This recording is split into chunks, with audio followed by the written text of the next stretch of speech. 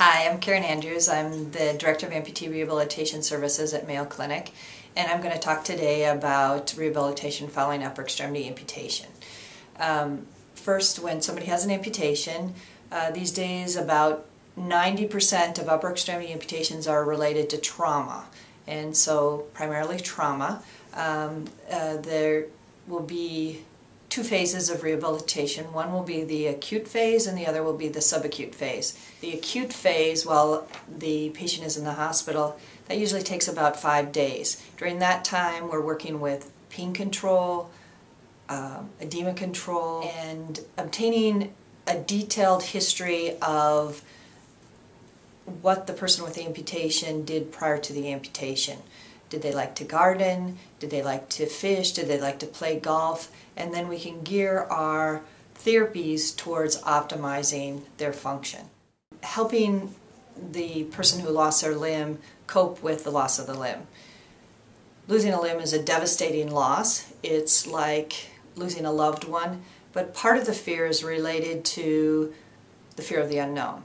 And so we provide patient education materials, provide options to meet with a peer visitor uh, to help discuss what to expect following amputation, and we found that to be very helpful. The first prosthesis that a patient will receive is a provisional prosthesis. It's not going to have the weight, bells, and whistles as the final arm, um, but it allows them to use their prosthesis and become adept at bimanual activities. After their residual limb is healed, we proceed with their first prosthesis, which is typically a um, body part prosthesis. Once the residual limb is volume stable, about six months after the amputation, we can start myoelectric fitting. Prosthetic fitting is a process. Um, we hope that at the end of the process, the person using the prosthesis is successful and will successfully use their prosthesis in a smooth way with no awkward movements and really incorporate it into their life. In order to achieve that, we really need the patients to be involved in the process early on. There have been studies that have shown that um, if you're fit with a prosthesis within 30 days of the amputation, you're going to be more successful in using the prosthesis and returning to work. So we try to fit people as quickly as possible, ideally while they're still in the hospital. After discharge from the hospital, the subacute phase of rehabilitation starts, and that includes pre-prosthetic management, prosthetic management, and then optimizing uh, function. So optimizing daily living activities both with and without the prosthesis. We have a great video out on YouTube, uh, Life Following Upper Limb Amputation, that I would encourage you to view or encourage you to have your patients view to help them see what to expect uh, following amputation.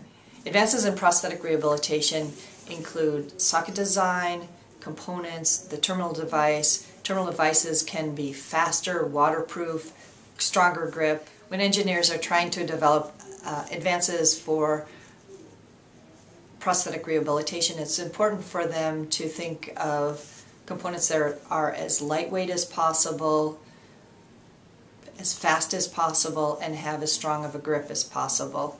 You probably remember the story of a father that uh, used a 3D printer to make a hand for his son that now is somewhat of the comparator that engineers are faced with, something as lightweight as that. Obviously, with experience in research and development, uh, the components are a bit more high level uh, than what you can make on a 3D printer, but there are some advances uh, with technology these days. There have been a lot of research on optimizing inputs to the prosthesis. One optimization would be the brain machine interface. So taking signals from the motor cortex to optimize the function of the prosthetic hand. There's also targeted muscle reinnervation. The targeted muscle takes a muscle that's targeted, deinnervated, and reinnervated with the nerves that would have distributed to the amputated limb. By using this targeted muscle then, the EMG from the muscle represents the signals that would have previously gone to the hand to function the prosthesis. There's also been studies looking at implanting electrodes directly into a patient's nerves to help facilitate the signal from the brain to the prosthesis. At Mayo, we're working with Arizona State University and Italy ITT uh, to develop a robotic hand for people with upper extremity amputations. ITT developed the soft hand robotic hand which has unique grasps and we're hoping to incorporate that for uh, people with amputations.